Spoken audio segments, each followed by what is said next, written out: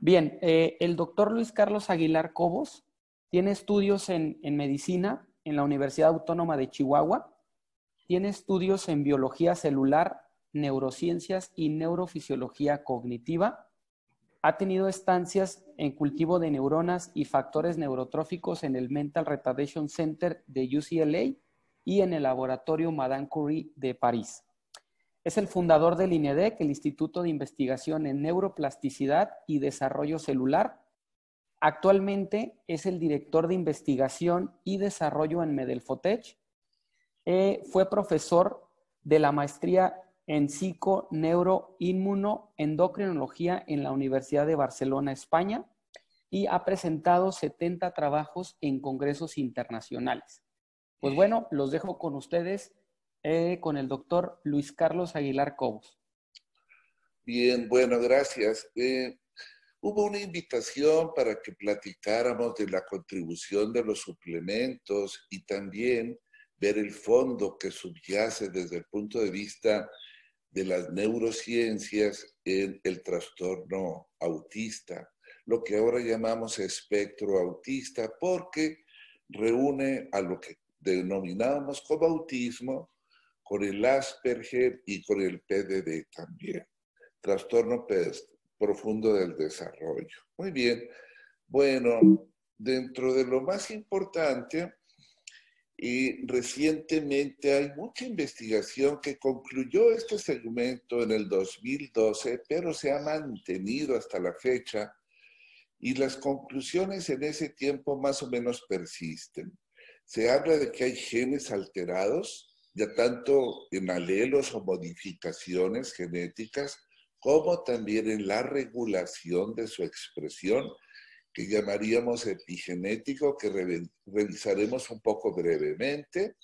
También el medio ambiente, cómo está participando en el desarrollo eh, del autismo y la asociación de algunos genes más problemas medioambientales asociados cómo contribuyen en forma importante al desarrollo del espectro autista.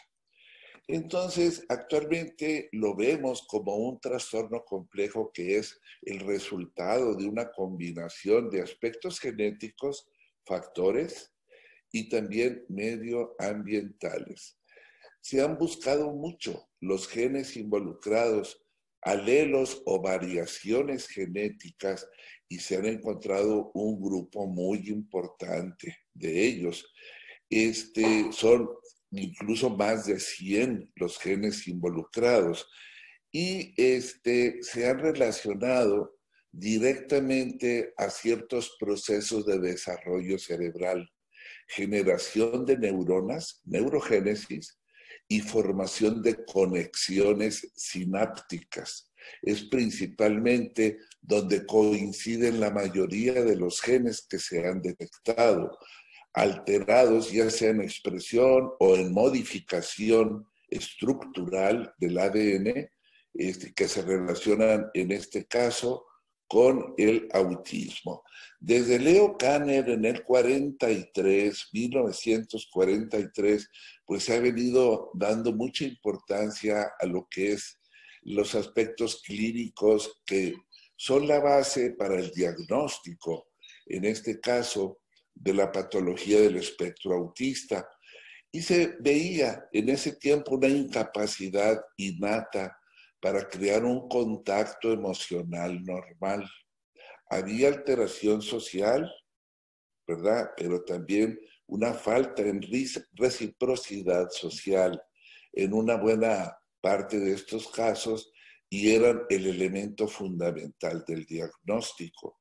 Actualmente se reconocen bien dos dominios en el deterioro. La comunicación e interacción social lo ven como uno y el comportamiento repetitivo restringido como el segundo elemento importante.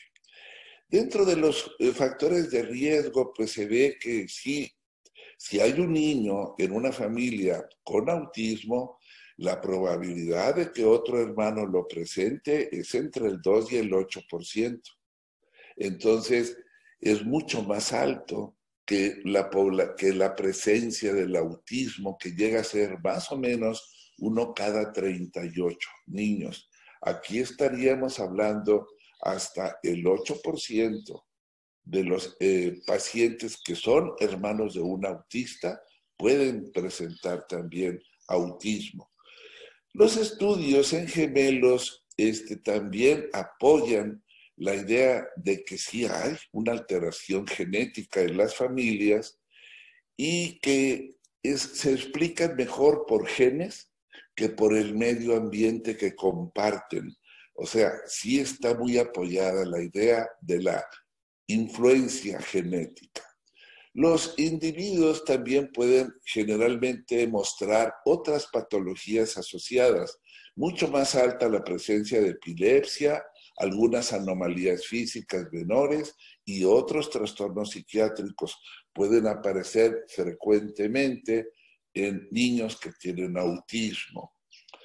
Muy bien, entonces en general vemos nosotros que el autismo puede ser causado por múltiples alteraciones genéticas, pero que también este, se van a ver muy influidos por el medio ambiente hay, se concibe que algunos genes relacionados sobre todo con la formación del cerebro y la plasticidad que tiene que ver con neurogénesis, migración neuronal, generación de conexiones sinápticas, dendritas, axones, producción de neurotransmisores, se ven alteradas este, en la mayoría de los sujetos con trastorno autista.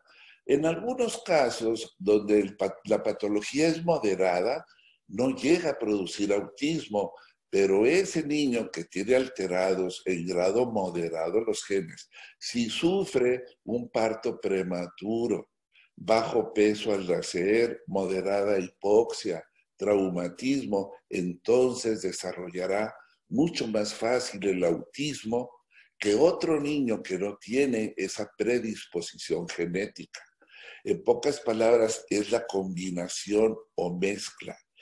Las primeras mutaciones que se identificaron se relacionaban con la sinapsis, conexiones entre neuronas. Y este, muchos otros estudios confirmaron esto. Todos estos que ven ustedes aquí son genes relacionados con la sinapsis y que se relacionan frecuentemente se detectan alterados. Muy bien. Bueno, este, y esto ha venido confirmando de que sí, los genes afectados tienen un papel crucial en la formación y el mantenimiento de la sinapsis en la mayoría de los casos del autismo. Pero también este, se ha visto que hay otras vías, no necesariamente la sinapsis, y en donde están alteradas la proliferación, generación de nuevas neuronas, la movilización. Hay muchas células, las neuronas, cuando se dan, se originan en ciertas regiones del cerebro, tienen que migrar para llegar a la zona que les corresponde ocupar en el estadio ya maduro o funcional. Y esa motilidad, esa migración neuronal con frecuencia también se encuentra afectada en varias patologías, pero una de ellas es el autismo. Entonces, esto se vuelven muy importantes esos aspectos. Y ya les mencionaba que hay puntos donde actualmente se conoce o se reconoce que un niño de cada 38 tiene autismo. En la mayoría de los casos con eh, trastornos autistas se encuentran alteraciones inmunológicas. Esa disfunción inmune se relaciona mucho con actividad de ciertas células que llamamos células tímicas, ¿sí? linfocitos T, que están relacionados con producción de anticuerpos y con ataque célula a célula, inmunidad celular.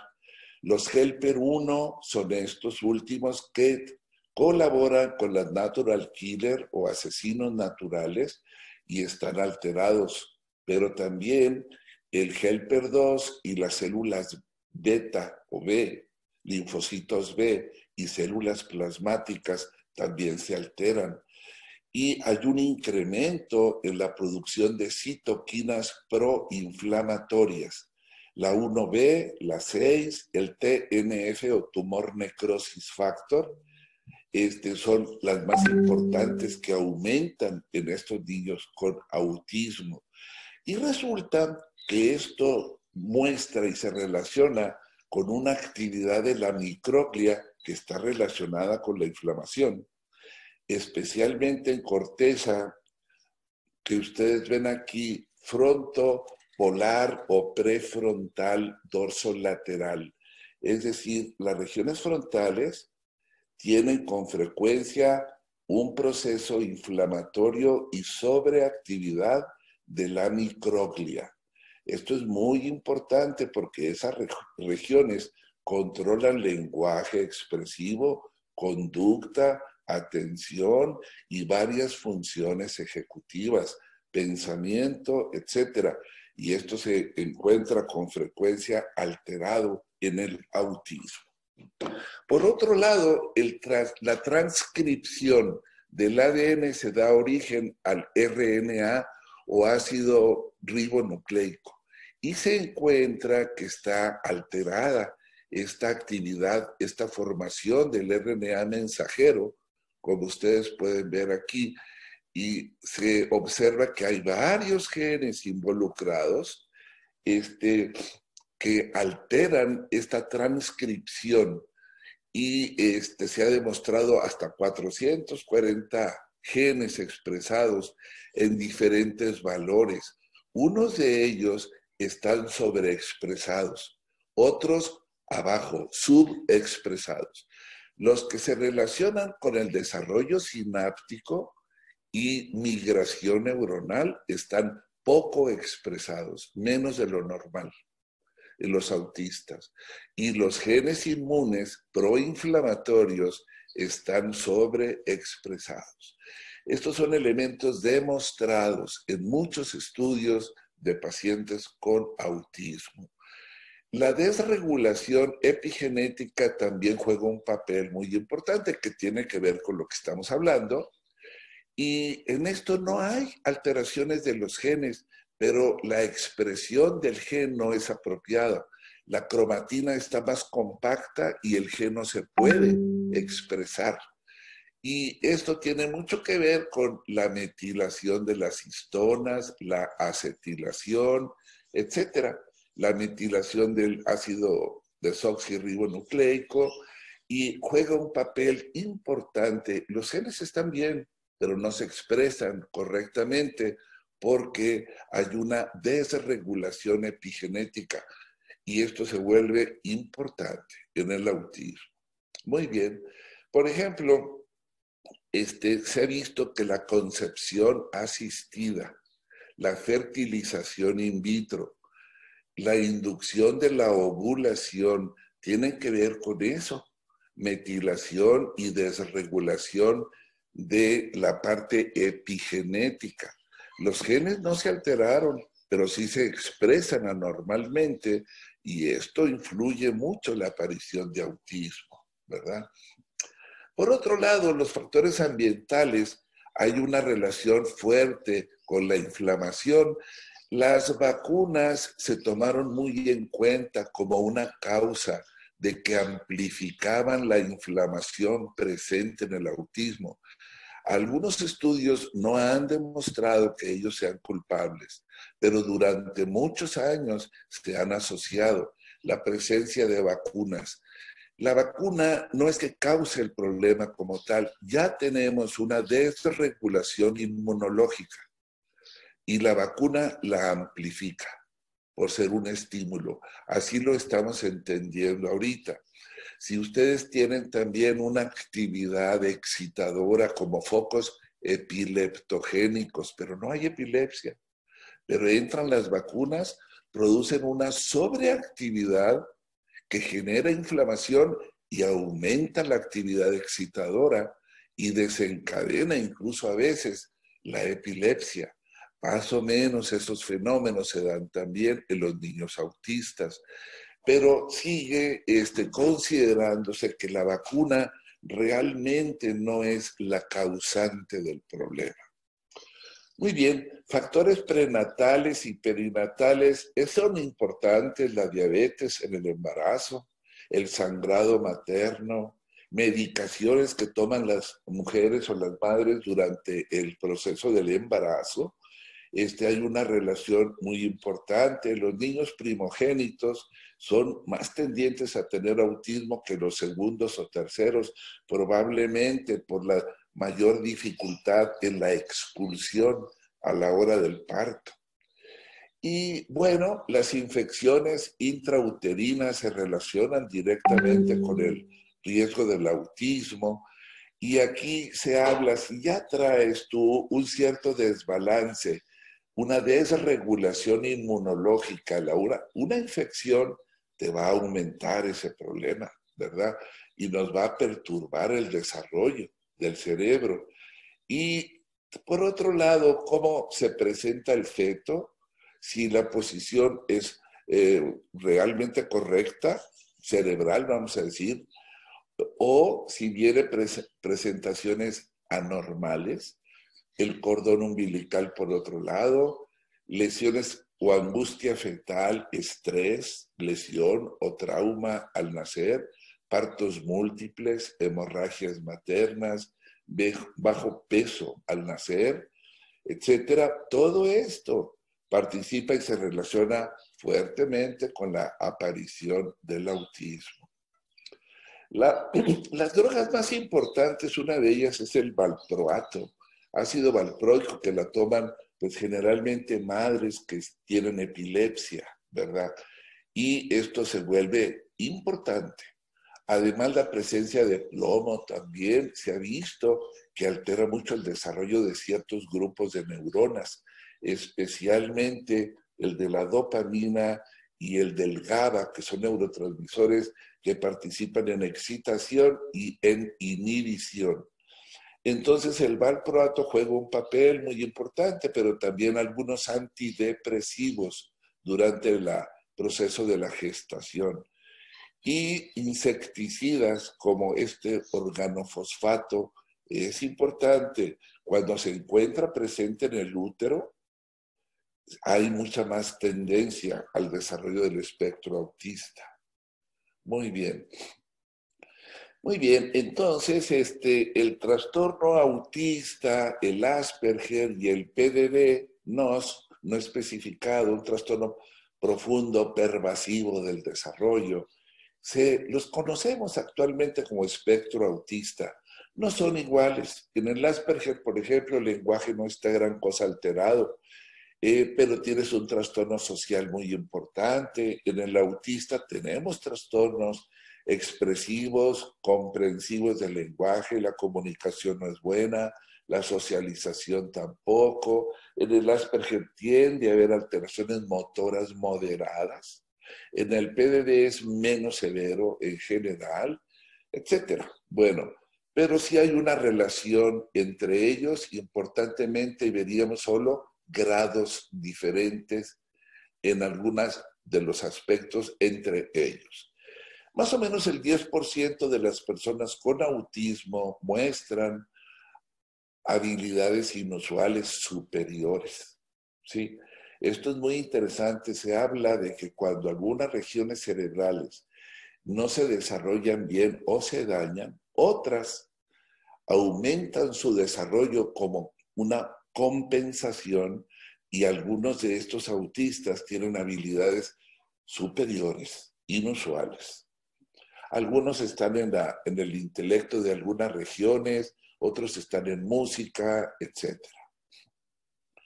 Muy bien, en el Asperger les mencionaba que este, las habilidades verbales se conservan, pero la comunicación y aspectos sociales no, no son adecuados. Dentro de las investigaciones, nosotros hemos estado trabajando pues prácticamente 30 años intensamente en el campo del autismo. Esto es lo más interesante que hemos visto recientemente. este, que la progranulina, que es una citoquina muy importante, está reducida en los niños autistas. Y resulta que la progranulina es antiinflamatoria y que es fundamental para el desarrollo del lóbulo frontal y del lóbulo temporal y del hipocampo, memoria, atención, control de conducta, etcétera, dependen de esas regiones. Y esa proinflamación que se detecta en los autistas se empieza a relacionar con los bajos niveles de la progranulina. Se vuelve muy importante porque esto juega papeles importantes en el desarrollo. Nosotros en los últimos años hemos visto que esta progranulina colabora mucho en mejorar a los niños que tienen agresividad, ansiedad, que no pueden expresarse apropiadamente porque trabajan en esa zona frontopolar. Y bueno, esto es algo fundamental para el papel. Y este rol o este trabajo del sistema inmunológico, pues nos permite entender por qué esos eventos proinflamatorios anormales están presentes en los autistas. Muy bien. Bueno, en general nosotros hablamos de que todas las alteraciones cognitivas y todas las enfermedades neuropsiquiátricas, como el autismo, esquizofrenias bipolares, obsesivos compulsivos, problemas de aprendizaje, etcétera, todas tienen alteraciones orgánicas o funcionales en circuitos. El cerebro no está sano. Y las causas pueden ser, como ya mencionamos, exógenas o genéticas. Dependiendo de la zona que se afecte, tendremos nosotros alteración de ciertas facetas clínicas. No comprendo bien, no contacto bien visualmente, no reconozco o tampoco me puedo expresar correctamente, no controlo mi conducta, dependiendo de las zonas que se afectan. Aquí las ven en diferentes colores. Cada una de estas regiones, si se altera, te van a dar alteraciones patológicas muy específicas. Bueno, estos son los tipos de neuronas fundamentales. En la letra A tenemos neuronas piramidales fundamentales, son las principales. Sin ellas simplemente no hay función. Y las demás que ven ustedes aquí a la derecha tienen generalmente papel inhibidor, les llamamos interneuronas o GABAérgicas o inhibidoras y regulan la excitabilidad cerebral. Inhibidora en negro y en naranja vemos a la excitadora. Si no, está un balance apropiado, la función está alterada. Muy bien, entonces, este, para nosotros poder detectar, porque el autismo realmente es un grupo diverso de enfermedades, no son iguales.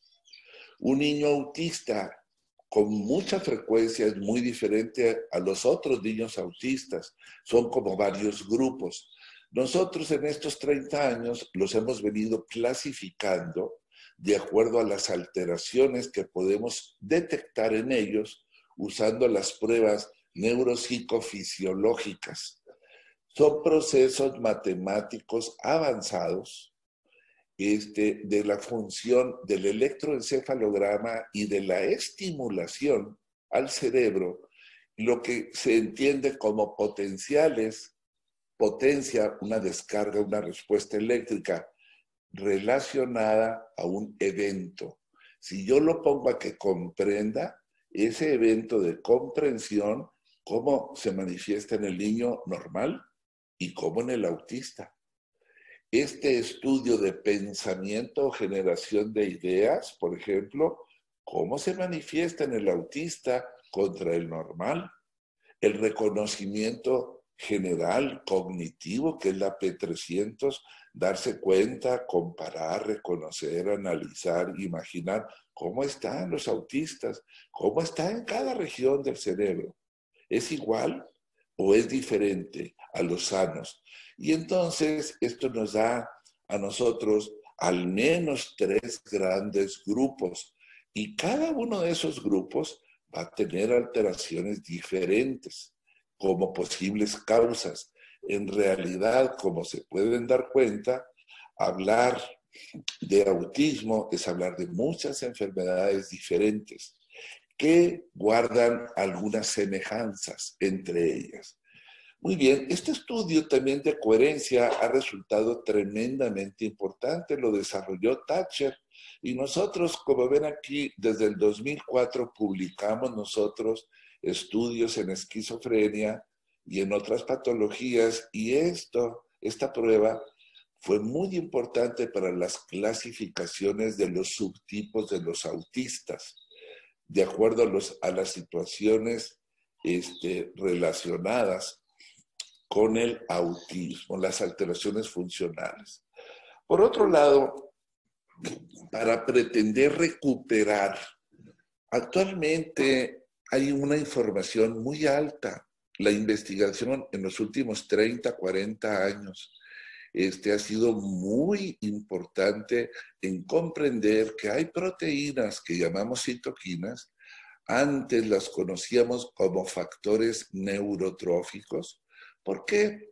Porque son capaces de producir neuronas, de favorecer la migración, producir contactos sinápticos y activar la función, lo cual está frecuentemente alterada en algunos niños autistas, si es que no prácticamente todos.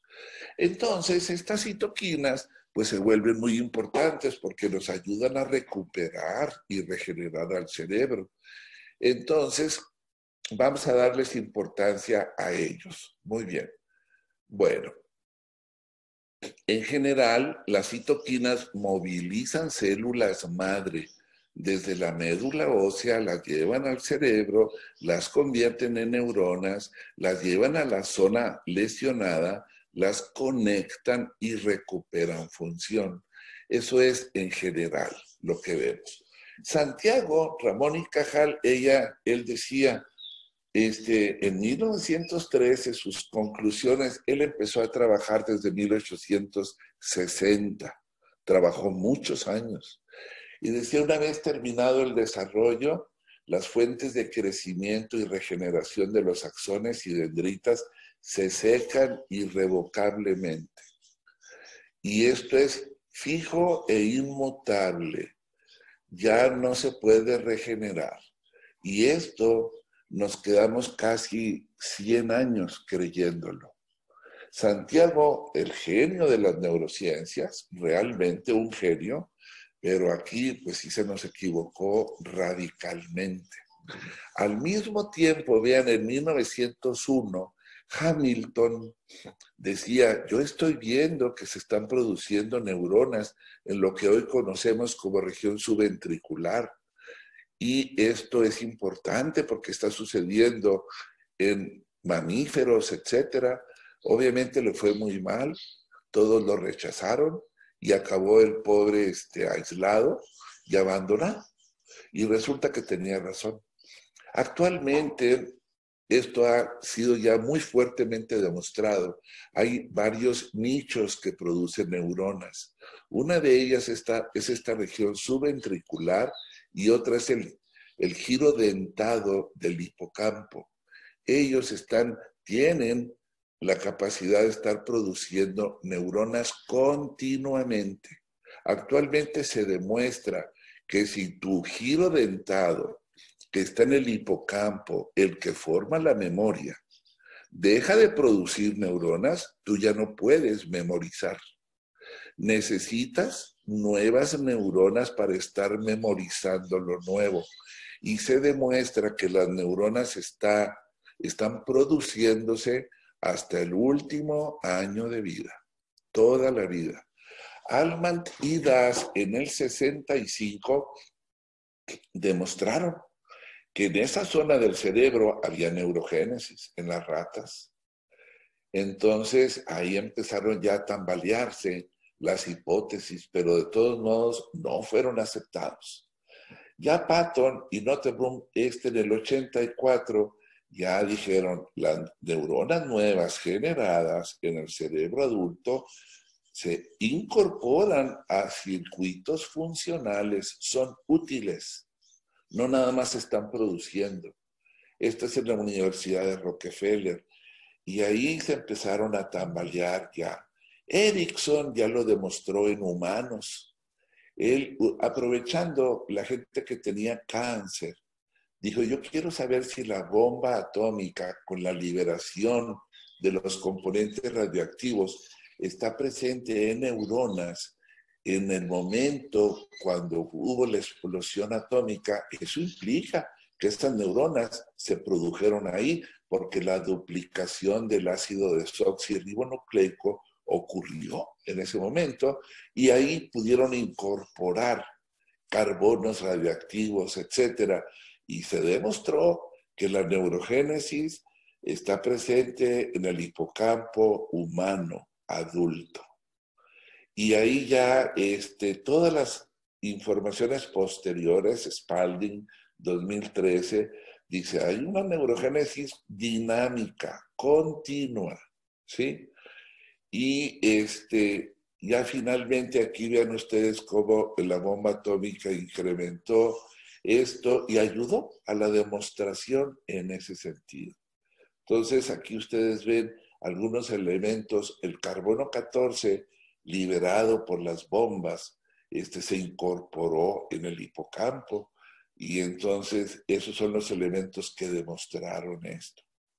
Actualmente sabemos que más o menos 700 neuronas, perdón, se añaden en el hipocampo cada día. Y más o menos el 70% de las neuronas del bulbo olfatorio se reemplazan en seis semanas. Eh, esto fue muy interesante porque ¿cómo era posible se sabe que las neuronas del bulbo olfatorio duraban entre 28 y 45 días. ¿Ok? ¿Cómo le hacían las ratas para mantener olfato después de tres años de vida? Entonces, cuando se estudiaron, se detecta que están llegando continuamente nuevas neuronas al bulbo y bueno, entonces están sustituyendo a las muertas. Eh, la dieta, el ejercicio, el aprendizaje, la actividad sexual aumenta la neurogénesis. El envejecimiento, el estrés lo disminuye. Este es el primer factor que nosotros estudiamos. Empezamos en 1982 con los primeros trabajos que pretendían encontrar neurogénesis pero como era muy atrevido hablar de formación de nuevas neuronas, nosotros nos dirigíamos a conexiones neuronales, plasticidad sináptica, actividad de las neuronas para aumentar su potencial. Y el FGF2 lo estuvimos estudiando ya muy fuertemente desde el 84 en delante. Finalmente se demostró, junto con nosotros, muchos otros investigadores, algunos de ellos con los que nos sirvieron también de maestro, como Morrison, este, se demostró que el FGF2 desarrollaba las neuronas piramidales o principales. Y que cuando se afectaba el gen que produce el FGF2, entonces si se afectaba, aquí lo ven, menos, menos, un cromosoma y el otro, entonces la formación de neuronas caía tremendamente en las células piramidales. Pero otro tipo de neurona GABAérgica no se veía afectada. También se veía que el desarrollo, cuando se apagaba el gen normal, la letra bajaba mucho cuando el gen estaba deficiente. Y aquí vemos nosotros el desarrollo de la neurona piramidal y acá deficiente. Entonces, este, resulta que el FGF2 estaba demostrando un papel importante en la plasticidad cerebral. Obviamente, en ese tiempo llegamos al acuerdo de, mejor decir, sobrevivencia, desarrollo, formación de sinapsis, de contactos, ¿verdad? Actividad de neurotransmisores, producción de neurotransmisores, formación de axones y de dendritas. Porque hablar de neurogénesis todavía era muy delicado. 86, 87, muy bien, en, ese, en esos años. Entonces, resulta que se descubre ya en ese tiempo que las, hay células que llamamos células madre neurales, stem cells, neuronal stem cells, presentes aquí en la región subventricular, que se reproducen y generan otra célula madre neural y una progenitora neuronal. Esa produce neuroblastos y van y se convierten en neuronas y reparan las zonas lastimadas. Esta fue ya el aclaramiento de la neurogénesis y su participación en la rehabilitación cerebral de diferentes eh, patologías. En el lado izquierdo poníamos nosotros células piramidales sin FGF2, el número de células o neuronas que sobrevivían era muy bajo. Acá poníamos FGF2 y veíamos un mucho mayor número de neuronas vivas y muy desarrolladas.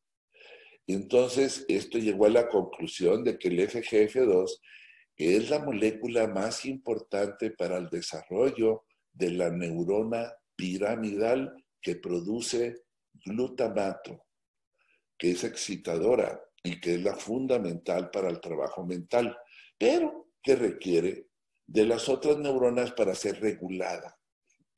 Aquí vemos también el efecto del FGF2 en el hipocampo. Este es el hipocampo, la zona de la memoria. Si no le dábamos tratamiento, estos puntos negros son nuevas neuronas. Había producción de neuronas, pero si se daba tratamiento, el FGF2, entonces los puntos negros aumentaban tremendamente. Había mucha más generación de nuevas neuronas. Y esta es la región subventricular, donde también aumentaba mucho el número de neurogénesis de nuevas neuronas cuando se daba tratamiento con el FGF2. Y este es el bulbo olfatorio, que hablábamos de las ratas y del olfato.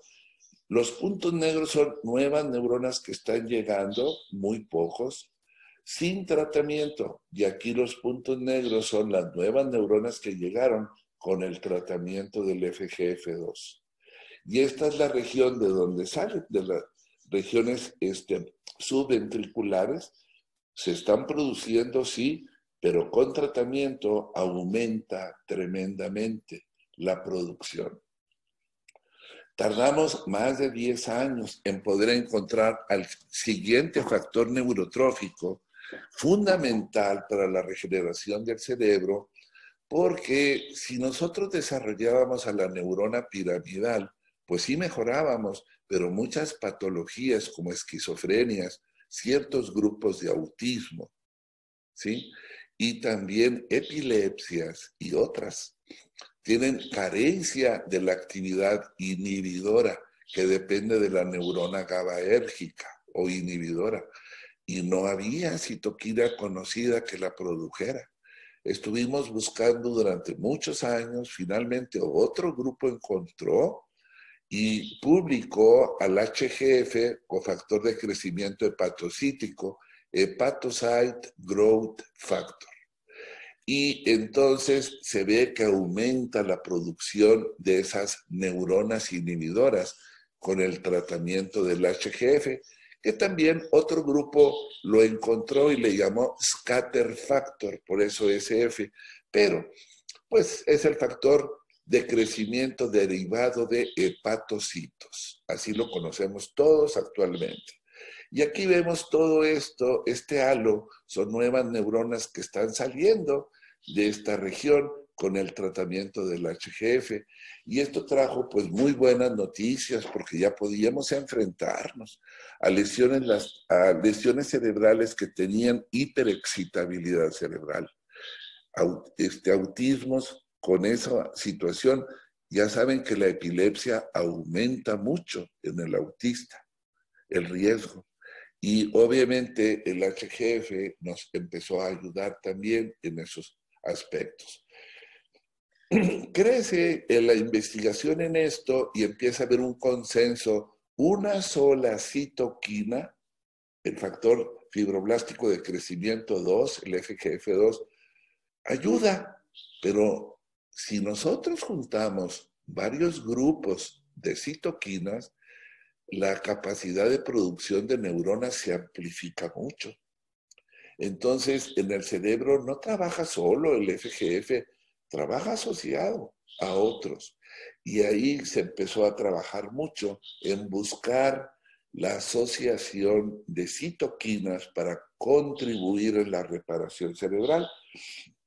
Unas de ellas fueron las citoquinas hematopoyéticas que demuestran por estos grupos este, que un infarto cerebral se puede recuperar utilizando este tipo de citoquinas que favorece la migración de células madre que vienen de la médula ósea, se generan progenitoras neuronales y neuronas.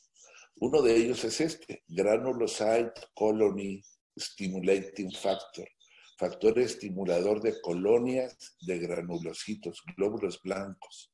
Y aquí vemos que este, evita la muerte y produce neurogénesis, nuevas neuronas. Este es el otro factor de células madre, stem cell factor, también estimula la producción de nuevas neuronas. Y aquí veían el efecto de estos dos factores juntos, la lesión cerebral, ahí la ven, y ven ustedes cómo se va reduciendo en las semanas de tratamiento. El volumen del infarto va reduciéndose. Solo el derivado de los granulocitos, esta lesión cerebral, se va reduciendo. Sin tratamiento en los animalitos no tratados, el infarto se mantiene, mientras que en los tratados disminuye tremendamente y la función se recupera en un alto grado. Este efecto de sinergismo es muy importante. Ven, sin tratamiento, ¿cuántas neuronas se producen? Estas. Con el granulocítico, casi el doble. Con el stem cell factor, casi el triple. Pero se juntan los dos y hay una amplificación mucho mayor. Muy bien, entonces son las bases que subyacen a la recuperación funcional utilizando citoquinas que se pueden usar como suplementos. ¿Por qué? Porque vienen de los alimentos.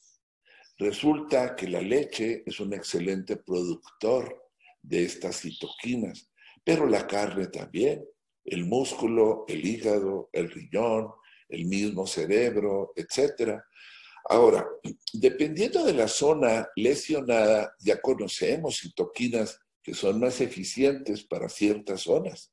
Por ejemplo, esta región que genera las palabras y que piensa la idea que va a expresar, este, responde mucho mejor a la progranulina y a otro que se llama CNTF, Ciliary Neurotrophic Factor, este, que al FGF. Trabaja mejor los otros, pero la asociación es mucho mejor. Entonces, para lenguajes expresivos, Resulta que la progranulina, que fue la que les mostré ahorita, como antiinflamatoria y que está baja en muchos casos de autistas, es fundamental para el desarrollo del lenguaje expresivo y entonces se vuelve muy importante.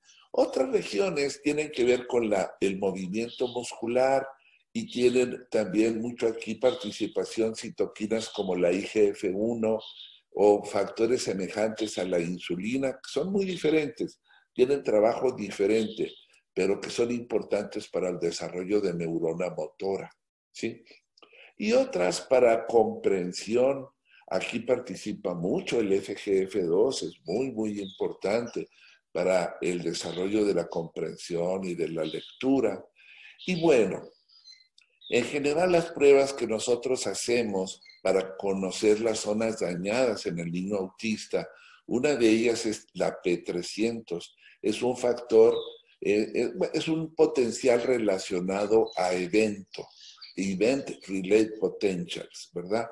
Y un cerebro sano en el lado izquierdo produce esa descarga y en el lado derecho esto, en la región frontal, en la región frontopolar, frontal, central, etc. Cada zona del cerebro produce una respuesta así. La simetría tiende a ser muy alta entre el izquierdo y el derecho en un cerebro sano pero en un cerebro dañado se altera y así detectamos qué zona está alterada. Vean ustedes, aquí está apagado el cerebro, se le da el estímulo y empieza a encenderse. La respuesta aparece en el frontal, parietal, temporal, todo el cerebro y luego se apaga. Esta es la actividad que se analiza y fue muy útil y sigue siendo muy útil para los diagnósticos en los autistas, que ahorita les mostraré. Esta es la prueba de generación de ideas o flexibilidad mental. Como decía Einstein, una de las funciones más importantes de la cognición humana es la capacidad de ser flexible. Si tú, tu idea para resolver un problema no funciona, pues generas otra y si no, otra, hasta que lo resuelves. Pero si tú no puedes producir ideas, te muestras obsesionado con la misma, la misma, la misma, y no vas a resolver el problema. Entonces, a esta región frontopolar depende de eso. El lado izquierdo es mucho más alta para planear pensamientos verbales pero hay pensamientos no verbales que tienen que ver con el movimiento y lo hace más el lado derecho, como ahorita les mostraré. Y esto este, se estudia también en estos casos, y aquí ve la respuesta frontopolar izquierda, y un paciente con una situación muy obsesiva no genera una respuesta apropiada. Aquí vemos la planeación de movimientos. Si generan un pensamiento para moverte y esta región frontopolar derecha está más activa que la izquierda, junto con las zonas que le ayudan a realizar ese trabajo.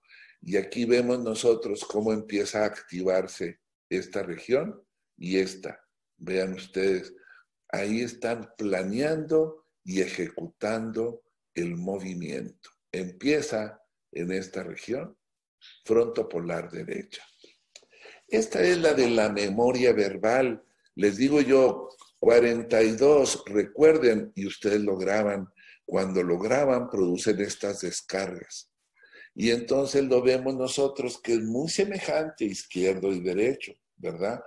Pero las personas que están afectadas no lo generan bien. Y aquí están viendo ustedes la respuesta en las regiones frontopolares durante tareas de memoria verbal. Esta es la memoria visoespacial y esta, perdón, esta es la memoria visoespacial, ahí la ven, esta es la respuesta también muy frontal, son funciones ejecutivas que dependen del lóbulo frontal. Y la atención también, esta descarga frontopolar es fundamental para decidir en qué te vas a fijar y conducir y manejar tus músculos oculares para que se dirijan, tu cuello, para estar atento en lo que estás viendo, en lo que quieres eh, estar atento, mantener ahí esa atención sostenida, ¿verdad? Y depende también de esa región. Aquí ven ustedes la respuesta durante tareas atentivas. Nos importan el voltaje, cuánto, qué intensidad, qué tiempo. Todo eso estudiamos para hacer el diagnóstico. Esta es la comprensión. Le digo yo algo y veo si comprende bien. Doy estímulos congruentes y estímulos incongruentes. Y entonces vemos cómo empieza a responder. Inicialmente, vean ustedes esta onda aquí en negro a los 310, 16 milisegundos ya está la descarga temporal izquierdo. Y luego se amplifica y lo manda al fronto polar izquierdo. Y ese ya genera la idea. Y ahí estamos viendo cómo es la comprensión normal. Un sujeto que tiene dañada a esa zona no comprende y su deficiencia en voltaje es muy alta. Aquí ven la comprensión durante la lectura. La zona que ve, occipital, y la que comprende, muy activa. Estoy comprendiendo lo que veo, lo que leo. Y esto lo hace un sujeto que está adecuado en su desarrollo. Y este, uno que tiene problemas, pues no lo va a hacer apropiadamente. Los potenciales visuales se vuelven muy importantes porque hay alta simetría. Ven ustedes esta región posterior O1, OZ, O2, alta simetría. Entonces, eso lo hacen los sujetos sanos. Luego, ¿cómo se comunican las regiones cerebrales entre ellas? La zona que ven aquí blanca, aquí, es la que estamos viendo que también recibe y lanza información. Cuando se conectan, se eleva el punto. Cuando se desconectan, baja. Y así está el cerebro. Me conecto, me desconecto a alta velocidad. Y entonces voy pudiendo estudiar si las regiones están funcionando bien y esto en el autista se ve muy alterado. Depende de las conexiones sinápticas que ya les mencioné al inicio de la charla. Y hay varios tipos de problemas que ahorita van a, a revisar en los diferentes tipos de autismo. Muy bien, en general encontramos tres principales grupos desde el punto de vista neurofisiológico.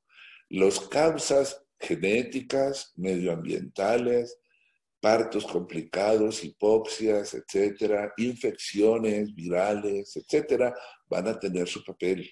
Pero ¿qué zona se alteró? Entonces, el principal grupo mostró alteración parietal y temporal. Y el otro mostró frontotemporal y otro tercer grupo muy parecido a la esquizofrenia. Ahorita se los vamos a mostrar. Esta región parietal que ven ustedes donde están las flechas azules es uno de los casos típicos de autismo. Ven ustedes el lado derecho, el rojo, es la respuesta normal en el parietal derecho, aquí donde tengo el cursor. Pero ven ustedes el parietal central, el rojo está muy bajo y el parietal izquierdo demasiado bajo, el central izquierdo muy bajo el rojo, estudio inicial. Después de tratamiento con citoquinas que ya les mencioné, el HGF, el FGF2, el stem cell factor, el granulocítico, es el negro, una recuperación importante. Estaba lastimado, no había suficientes neuronas trabajando ya tenemos neuronas trabajando. Y el izquierdo y el derecho ya son muy parecidos. Derecho, izquierdo, y hay una recuperación. Estos niños ya te ven a los ojos, ya tienes contacto visual, ya empieza a haber reciprocidad, porque ya se dan cuenta que existes.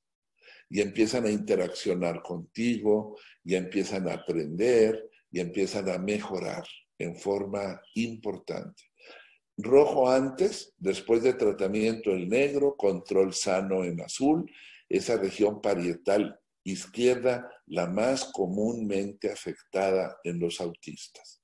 Luego, la prueba de coherencia que tiene que ver con las conexiones. Aquí estamos evaluando al temporal anterior izquierdo donde tengo yo aquí el cursor y esa zona estaba desconectada usando la prueba de coherencia, demasiado baja. Equivale a que estaba desconectada la zona. Después de tratamiento, la misma región ya está conectada. Entonces formó conexiones sinápticas y obviamente recupera. Esta es la prueba de coherencia. Sin tratamiento, la zona más afectada, desconectada, baja la coherencia y luego mucho más elevada con el tratamiento. Aquí vemos el segundo grupo de los autistas que muestran alteraciones frontales, predominio derecho. Vean en rojo lo normal y en negro el paciente eh, con autismo. En el lado izquierdo, aquí el paciente autista y el rojo son prácticamente iguales, no hay alteración. Aquí también variaciones pequeñas, pero vayan al lado derecho, mucho más bajo, mucho más bajo el negro que es el sujeto, el paciente con autismo, y aquí demasiado bajo, acá también. Toda esta zona frontotemporal derecha se muestra hipoactiva. Y la manifestación clínica depende de la función de acá, control de conducta, autoagresivos, irritables, no se pueden controlar, etcétera, porque tienen una afección de la región frontal derecha. Esa zona que ven aquí en azul, al inicio vean que está conectado. Esta es la prueba de coherencia, pero estas regiones están demasiado bajas, desconectadas. Lo normal, aquí lo ven ustedes en el lado derecho. Ese es un sujeto sano. Y lo ven ustedes, el autista muy desconectado, y esto es lo normal, control sano. La misma zona y la misma conexión. Aquí ven ustedes al paciente este, normal. Aquí vemos aquí la zona central cómo está mandando y recibiendo información. Se prende hacia arriba se vuelven coherentes, tienen la misma frecuencia y el mismo desfase, que se dice que sale de un lado una descarga y llega al otro lado. Tata, tata, siempre la misma frecuencia, están conectados. Y luego se cae la, la conexión porque ya no están conectados y luego se vuelven a conectar. Esta es la función de conexión e inhibición y lo tienes que hacer la neurona excitadora o piramidal te produce la conexión y la desconexión la hace la neurona inhibidora. Entonces aquí ves el trabajo de los dos. En los esquizofrénicos encontramos nosotros que se mantenía arriba, no apagaba. Y cuando se estudiaron estos cerebros, mostraban que tenían un número muy deficiente de neurona inhibidora, no apaga. Lo normal es el lado derecho. Y el 16% de los autistas son iguales a los esquizofrénicos. Y aquí vemos cómo se mantiene arriba la respuesta del esquizofrénico y la normal en el lado derecho. Vean el autista, parecido a la esquizofrenia, valores muy altos, esto es lo normal. Vean aquí el autista contra el esquizofrénico, muy parecidos.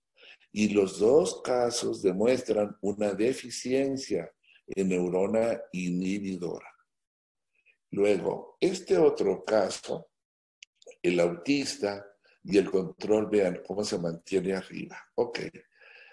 Aquí vemos otras zonas que estaban inicialmente afectadas. Vean ustedes, inicialmente este, vemos aquí el negro muy deficiente, el rojo es el control sano después de tratamiento, una recuperación funcional muy importante, usando todos los factores que ya les mencioné. Y esto nos permite entonces decir, los autistas no están condenados, son muy mejorables. Y con nosotros tenemos más de 8.000 casos tratados ya con autismo y la recuperación es significativa. No es magia, muchos casos demasiado graves solo mejoran algo. Los casos moderados se recuperan. Los casos intermedios tienen una gran mejoría, ¿sí? Pero no estamos hablando de milagros porque es un proceso de desarrollo. Vean a este caso, cómo estaba esta región desconectada y veanlo después de tratamiento. Ya hay conexiones. Aquí antes y después con tratamiento, seis meses de tratamiento, ya tienes una mejoría importante. En el típico, similar a la esquizofrenia, el HGF y el gránulo cítrico son los que forman la neurona inhibidora. Estas son las neuronas inhibidoras, la chandelier que ven ustedes aquí y todas las de los lados. La forma de triángulo o pirámide es la piramidal. Esa es, responde al FGF y todas las otras responden al HGF. cuando se estudió a pacientes con esquizofrenia, se encontró que había una deficiencia importante en el número de neurona GABAérgica porque no migraban bien, Ya les mencioné que los autistas hay problemas en la migración, ¿sí? Y entonces no llegaban suficientes neuronas a la corteza, ¿sí? Había una alteración en la migración, sobre todo regiones frontopolares. Y los normales, controles sanos, tenían muchas más neuronas inhibidoras que los esquizofrénicos, los bipolares y también que algunos tipos de depresión mayor. Entonces, esta situación aparece en los autistas y tienen excitabilidad cerebral los esquizofrénicos y esto produce neuroinflamación y empiezan a juntarse las piezas procesos inflamatorios, excitabilidad cerebral, déficit de neuronas inhibidoras, etcétera, ¿verdad? Progranulina deficiente. Y bien, el HGF, este vean ustedes cómo aumenta la producción de neuronas. Entonces, cuando se va a estudiar el autismo y la sinapsis, hay una relación que depende del HGF, Hepatocyte Growth Factor. Y aquí ven ustedes que el HGF modula al receptor MET. Este es donde actúa. Ahí llega y se fija y entonces se da una cascada en el interior de la neurona que incrementa la formación de sinapsis. Y las alteraciones en este receptor del HGF o la actividad del hepatocítico factor de crecimiento hepatocítico, y ahorita les voy a explicar por qué están implicados en el autismo. Pero resulta que el HGF y este receptor son tremendamente antiinflamatorios. Y ya lo hablamos de que el autismo tiene mucha inflamación, ¿verdad?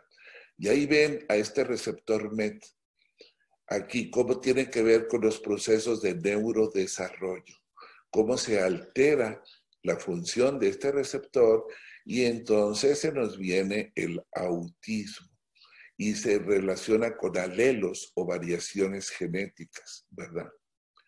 Muy bien, entonces, y esto correlaciona con circuitos alterados y su función en el Autism Spectrum Disorder, ¿verdad? Típico de la población humana y causa alteraciones este, de este receptor MET hasta un 50% de reducción de la transcripción de los genes. Y esto nos lleva a una deficiencia del neurodesarrollo. Y resulta que se estudian a los cerebros de los niños autistas y el sano en azul tiene mucho más gruesa la corteza, tiene más conexiones. Y el autismo en rojo mucho menos conexiones, ¿verdad? Y más, menos gruesa la corteza de las zonas del habla, de la comprensión. Ah, pero también tiene alteraciones gastrointestinales y disfunciones inmunológicas. Y resulta que se empieza a juntar todos los elementos que ya hemos estado mencionando. Y nada más porque hubo una pequeña variación genética en lugar de guanina, guanina se pasó a citosina, citosina. Eso hace que entre un aminoácido diferente y ya con eso ya no funciona bien. Y esto aquí sí es una modificación genética, pero muchas veces la parte que ya mencionamos epigenética no tiene alteración de alelos, pero no se expresan bien los genes por diferentes situaciones, acetilación o desacetilación, metilación de las histonas y del ADN, etc. Entonces hay una relación muy importante, perdón, de esta situación con el sistema gastrointestinal que se menciona mucho en los autistas. El HGF incrementa la activación del MET y mejora la regeneración del epitelio del colon. Resulta que también estos mismos elementos están metidos en el cerebro, pero también están metidos en el tubo digestivo y también están metidos con la parte antiinflamatoria que ya mencionamos. Y este, esto se vuelve pues muy importante en el autismo. Una desregulación de este MET nos va a llevar a alterar en, forma importante la maduración, las conexiones, este, y tienen que ver con el autismo. Muy bien. Bueno, la progranulina aquí este, contribuye mucho a la patología, ¿verdad? Y resulta que si ustedes ven aquí que un ratoncito donde está deficiente en progranulina, pues se ve más o menos normal, pero cuando el paciente o el ratoncito es sometido a un dolor o algo, entonces muestra problemas de atención, depresión, sobreactividad, impulsividad, ya no busca la comida correctamente, reduce el control de los impulsos, empieza a tener comportamientos anormales, solamente eh, con una deficiencia de progranulina, las que ya le mencioné. Entonces, los niveles plasmáticos de la progranulina pues se demuestran en un grupo muy grande, un porcentaje muy alto de los pacientes este, con autismo tienen esto. 65% de los autistas tienen una reducción de la progranulina. ¿Qué tan importante es darles esta progranulina? Les ayuda mucho. Nosotros nos hemos quedado sorprendidos de los beneficios que otorga y este nosotros lo estamos eh, obteniendo de moluscos marinos porque se produce la grasa del bovino, del porcino, el músculo también, pero la cantidad es muy baja. Y los moluscos marinos, como los calamares, el ostión, eh, mejillones, etcétera, tienen una producción muy alta y los usamos como alimentación y son atóxicos. Entonces, pues es muy bienvenido esa progranulina obtenida de alimentos.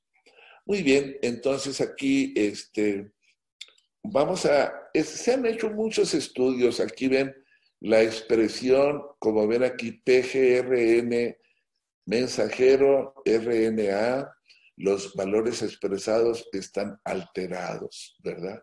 Entonces, cuando hay alteraciones este, eh, cuando se usa el ácido valproico afecta muy importantemente.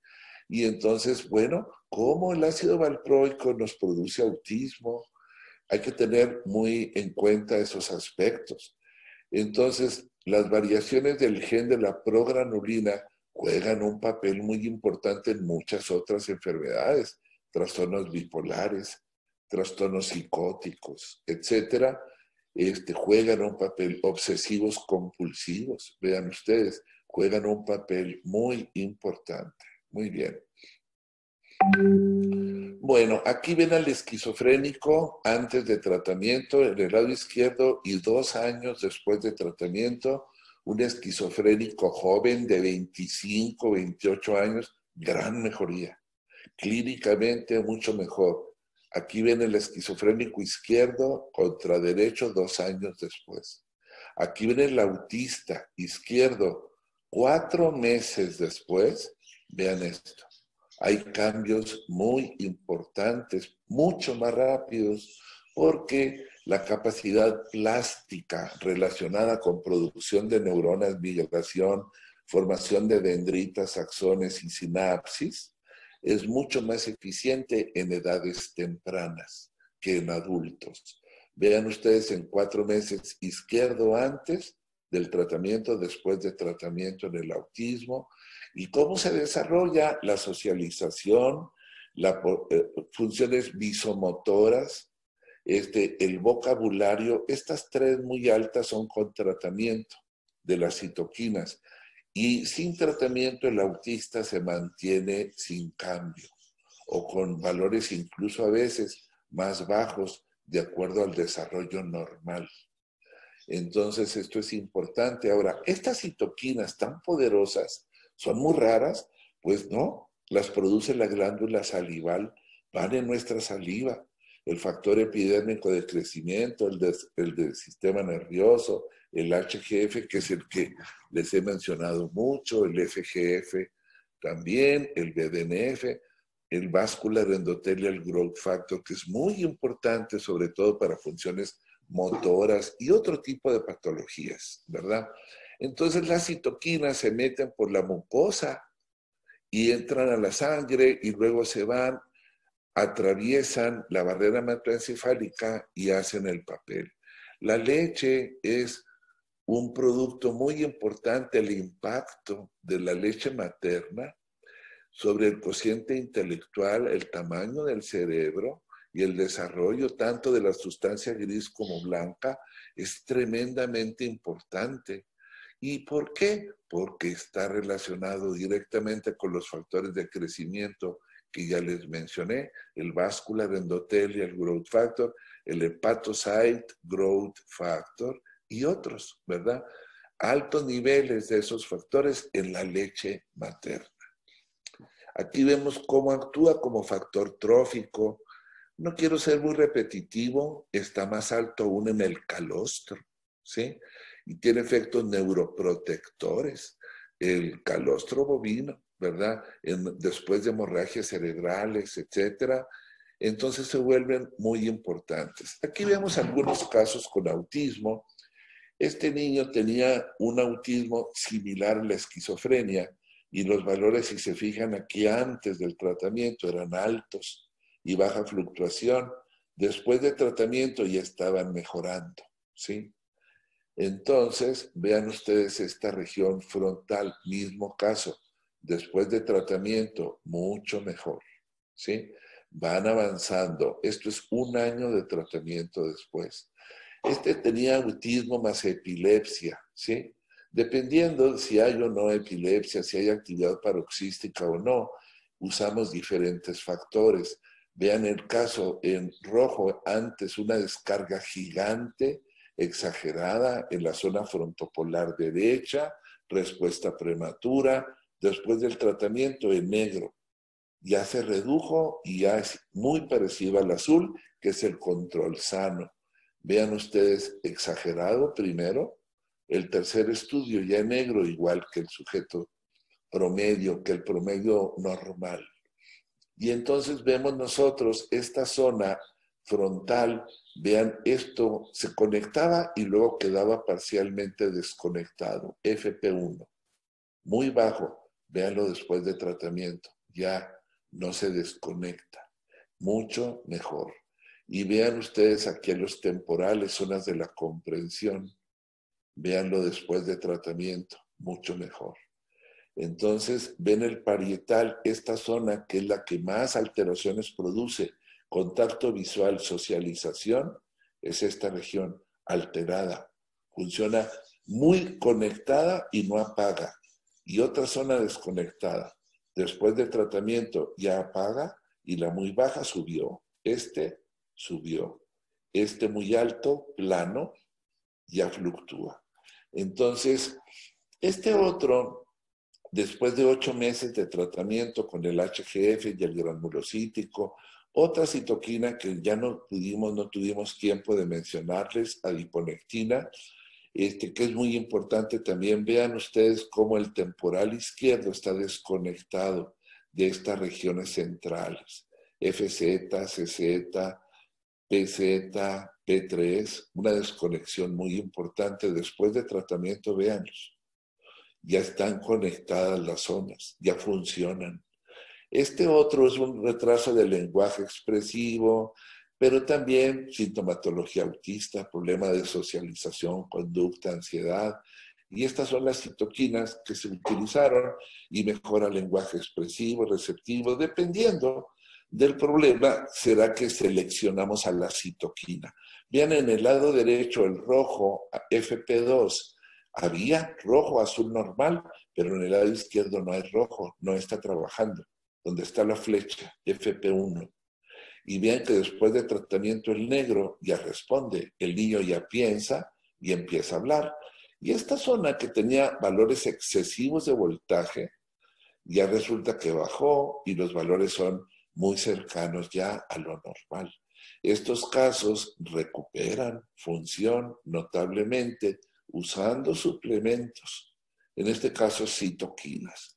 Muy bien, bueno, aquí vemos estas descargas excesivas, cómo bajan en forma importante, negro después del tratamiento. azul el normal, la descarga antes, número uno, excesiva y prematura. Anormal, estaba perdida en neuronas inhibidoras, que son las que regulan esto, se producen y resulta que tenemos ya una recuperación significativa. Muy bien, entonces, este, esta es en general, son muchos casos, no hay tanto tiempo, yo pienso que ya vamos a ver este y ahí detenemos para atender algunas de sus preguntas, ¿verdad? Entonces aquí vemos nosotros eh, un paciente que tiene también, además de autismo, tiene epilepsia. Vean ustedes esta descarga que ven aquí. En región T3, C3 y F7, fronto, temporal y central izquierdos. Entonces ven ustedes, antes de tratamiento, vean la descarga, después de tratamiento, ¿sí? Ya no hay actividad paroxística. Los voltajes gigantes también ya se redujeron ya no hay hiperexcitabilidad cerebral. Rojo estudio 1, azul normal, control, y después el negro. Una recuperación importante, vean este rojo, respuesta excesiva de voltaje y prematura. Luego este negro. El azul normal, mucho más adecuado ya. Estas zonas F4, donde está la bolita en azul, esa es la zona que estamos viendo, que también se comunica. Esto está muy alto, C4, y este se cae, anormal, y este elevado, anormal. Véanlo después. Este que se caía, CZ, ya está normal. C4 que estaba muy alto y no apagaba, ya apaga. Este otro que estaba muy anormal, ya está normal hay una recuperación significativa. Esta región central también tenía múltiples alteraciones de conexión-desconexión. Posterior al tratamiento ya tienen ustedes una mejoría muy importante. Muy bien, hasta aquí lo vamos a dejar este, y pasamos a preguntas, Luis, por favor. Claro que sí, doctor, muchas gracias. Mira, sí hay varias preguntas. Eh, mira, por ejemplo, aquí hay alguien que pregunta, ¿el déficit de población de neurona GABAérgica que se comporta como autismo es mejor diagnóstico para la recuperación de, de un niño que el que tiene el trastorno del espectro autista? Bueno, miren, son enfermedades totalmente diferentes, eh, pero los dos pueden recuperarse ya mucho. Nosotros el tratamiento sí es muy diferente. Un niño de espectro autista, similar a la esquizofrenia, porque sus genes no produjeron y su medio ambiente cantidad adecuada de neurona inhibidora o GABAérgica, ayudan y el tratamiento es muy útil, muy eficiente. Pero lesiones cerebrales que afectaron el óvulo frontal y parietal también mejoran mucho. El tratamiento es totalmente diferente. Es otra neurona, otras citoquinas. Los dos casos mejoran mucho. Hay enfermedades relacionadas al autismo, genéticas muy graves, que son muy difíciles de, de resolver. Las se pueden ayudar. Síndrome de Red, Angelman, etcétera, son patologías muy severas. No podemos recuperarlas les podemos ayudar algo.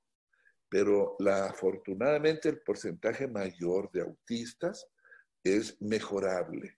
No debemos de hablar de perfecciones porque ningún ser humano es perfecto. Todos tenemos deficiencias. En el autismo las deficiencias las podemos reducir y muchos de los casos pueden entrar a tener una vida adecuada. Eso es lo que se debe pretender que el niño se integre a la sociedad, que pueda trabajar, que se comunique y que sea independiente. Eso es lo ideal, lo que queremos. Lo logramos en muchos casos. Los casos muy graves son mejorables, pero no se alcanza a reparar completamente. Muy bien, doctor, tengo aquí a otra persona, Nefertiti. Pregunta, ¿cuánto avance tendrán los chicos con el tratamiento en las no sé si en las tres clasificaciones o lesiones en la parte frontal o parietal. A ver, no te escuché muy bien. Ah, repíteme, parietal, ¿sí? Y frontal. Sí, bueno, eh, bueno, el porcentaje, nosotros hemos hecho un estudio muy grande en miles de casos ya y este, encontramos que el 65% de los pacientes diagnosticados con espectro autista tienen alterada la región parietal y vecinos y el 40% tienen alterada la región frontal. ¿Por qué es eso? ¿Es más del 100%? Porque hay muchos casos con autismo que tienen las dos zonas afectadas, parietal y también frontal. Entonces, pero el predominio es más parietotemporal, así es. Muy bien, doctor, aquí hay otra pregunta de Nicole Jiménez. ¿A partir de qué edad se puede dar un diagnóstico? Bueno, este, se habla de que todos los casos ya pueden ser claramente diagnosticables a los tres años, porque ya pueden ser bien evaluados, etcétera. Pero ustedes y nosotros tenemos claro y consciente de que un caso que está mostrando una alteración del desarrollo, aunque no tenga la edad para diagnosticarse como autista, sí se puede detectar alteraciones en su desarrollo. Y como la edad de recuperación es más adecuada entre más pequeño, más vale hacer estudio neurofisiológico temprano. Y si se encuentran las asimetrías que yo les mencioné las descargas exageradas o las alteraciones en las conexiones sinápticas, que son normales desde los 3, 4 meses de edad, más vale empezar un tratamiento, aunque no se cumpla con este, el diagnóstico del espectro autista. Es importante porque se nos va a recuperar mucho más fácil un niño de un año que otro de tres años y mucho mejor que otro de seis o siete. ¿verdad? Entonces, este, en ese sentido, no tenemos por qué obsesionarnos. ¿Es autista o no? No, hay un trastorno del desarrollo, sí. La sintomatología es parecida al autismo, sí. Hay que hacer un estudio. Una, una evaluación por el neuropediatra es importante, ¿verdad? Y una evaluación neurofisiológica es muy importante. Este, evaluamos si hay alteraciones significativas comparados a los grupos sanos, entonces nos van a empezar un tratamiento a tiempo para favorecer la recuperación funcional. Muy bien, doctor, aquí hay otro. Em, ok, ¿cuáles son los criterios en los que se podría usar el Valprom en caso de autismo? Si el ácido valproico este, como sabemos, es muy útil para el tratamiento de enfermedades epilépticas o paroxísticas. Pero todos los fármacos que usemos nos van a cobrar. El ácido valproico tiene alteraciones importantes epigenéticas y se demuestra que algunos genes se modifican en su expresión, ¿verdad? Entonces, este, no usar un fármaco nomás porque sí. A veces los tenemos que usar porque una descarga epiléptica es más peligrosa que usar el ácido valproico. Una descarga epiléptica nos va a matar neuronas y nos puede producir un evento regresivo grave, ¿sí? Entonces mejor lo usamos, pero no lo vamos a usar si no es necesario y las dosis más bajas posibles, ¿verdad? Hay otros anticonvulsivantes que también lo, lo pueden hacer en lugar del ácido valproico, pero hay que reconocerle lo bueno al ácido valproico. Es muy eficiente en epilepsias.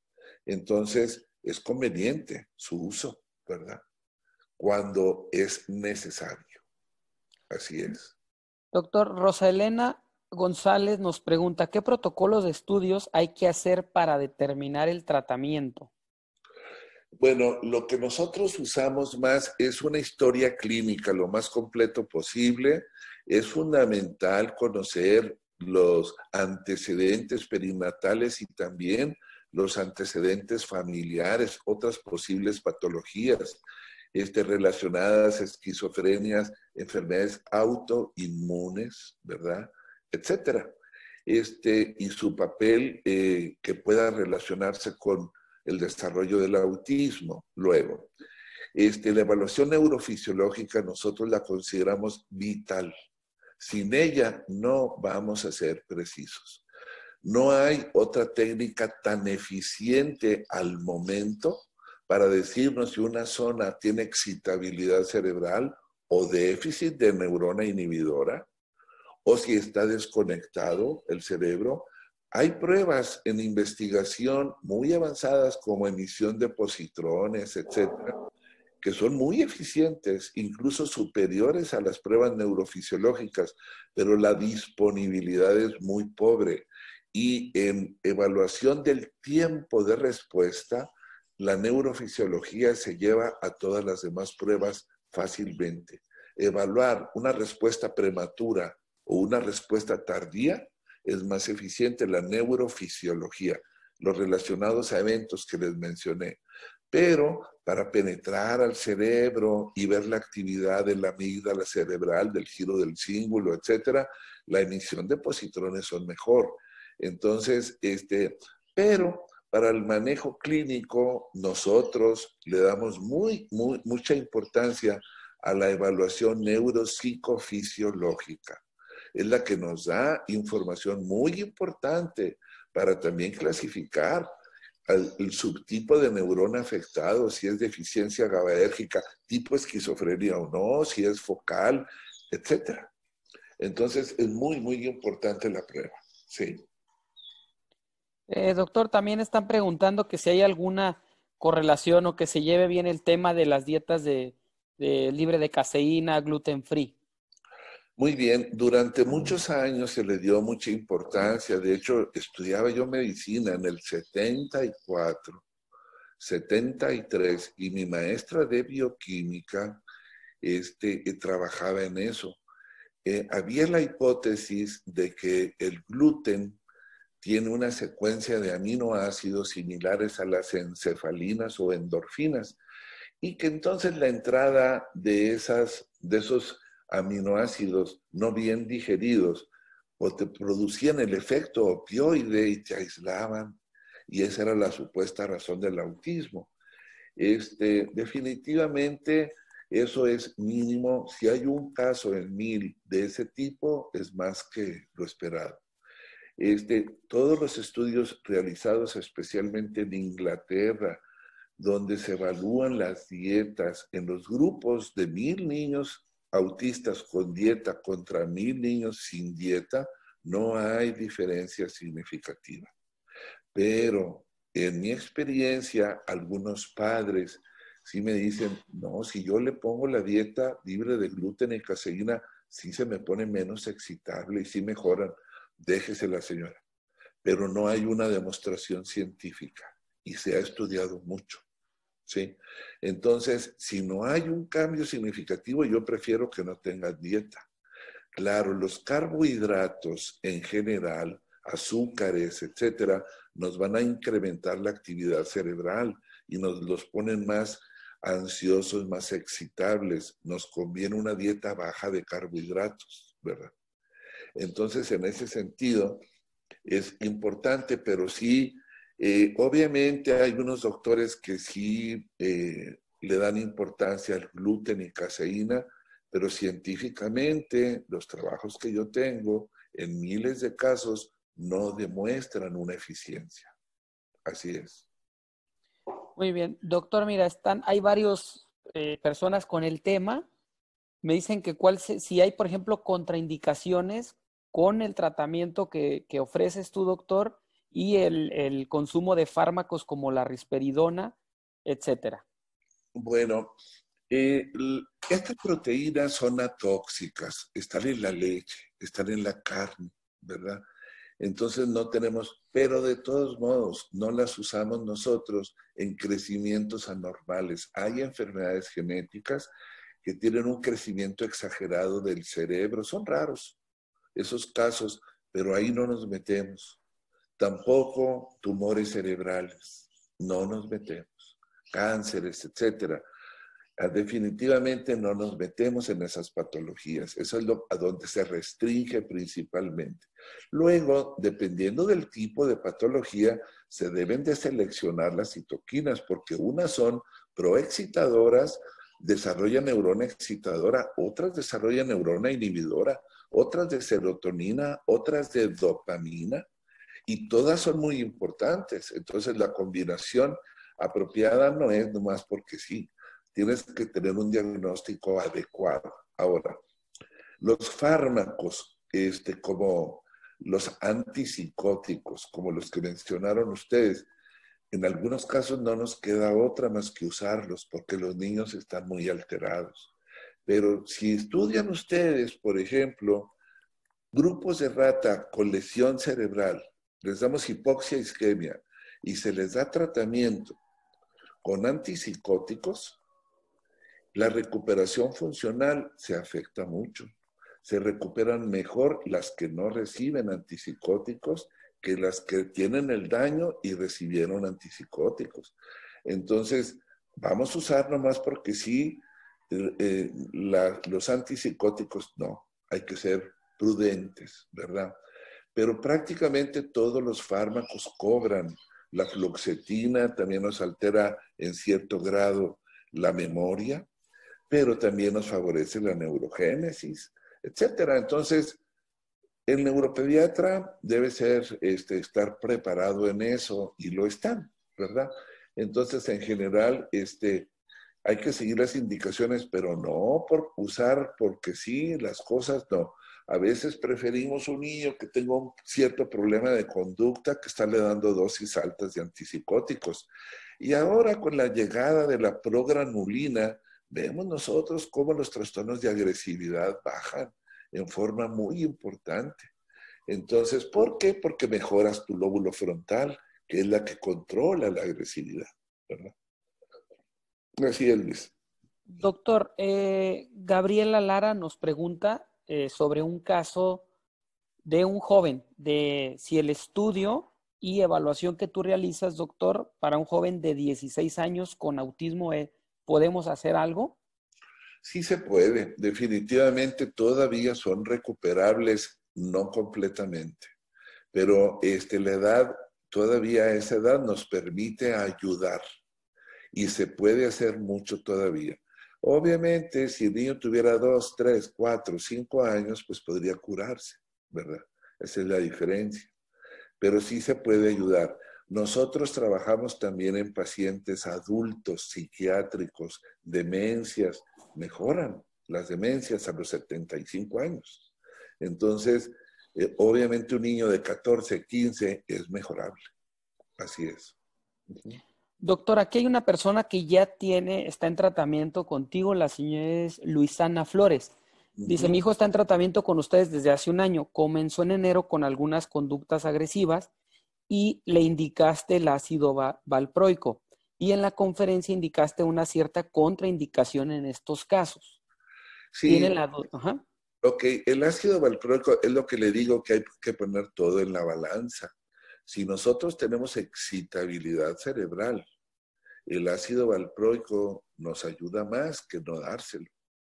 Pero tenemos que ser muy conscientes de que estamos usando y de las dosis, ¿verdad? Entonces, tratamos de usar dosis lo más baja posible y el tiempo menor posible. Pero así es, este, a veces no nos queda de otra, tenemos que usarlo a fuerza en patologías con excitabilidad cerebral, porque es más dañino no usarlo que usarlo. Y se tiene que poner en la balanza y lo que debes de buscar es el apoyo para el paciente, ¿no? Pero entre más baja la dosis y más corto el periodo, será mejor.